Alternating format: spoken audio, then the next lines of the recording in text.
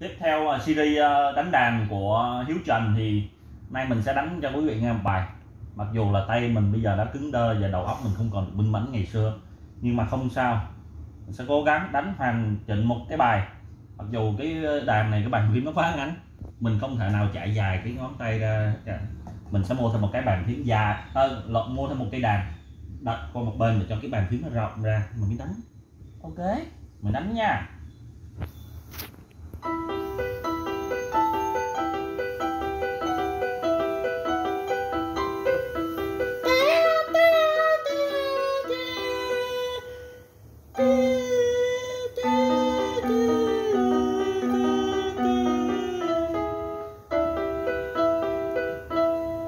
ủa sao ngắn vậy ta?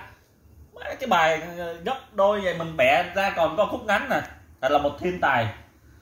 Có thể là Beth uh, Beethoven. Oh, bài này của Mozart Beethoven. Ok của ai cũng được hai này gộp lại thành cái cái bài của mình. Bẻ đôi. Khúc đầu cuối ráp lại. Đó là một thiên tài. À, nếu muốn làm một thiên tài thì bạn phải khác người. Mà mình đang uh, muốn làm khác người một chút à, mình không đánh một bài từ đầu đến đích mà mình đánh từ uh, bỏ khúc giữa đánh từ đầu đến đích thôi. Ok. Chào các bạn các bạn. Nếu các bạn thấy mình chia sẻ hay thì hãy like hoặc thả tim nhớ follow cho mình nhé. Chào tạm biệt và hẹn gặp lại.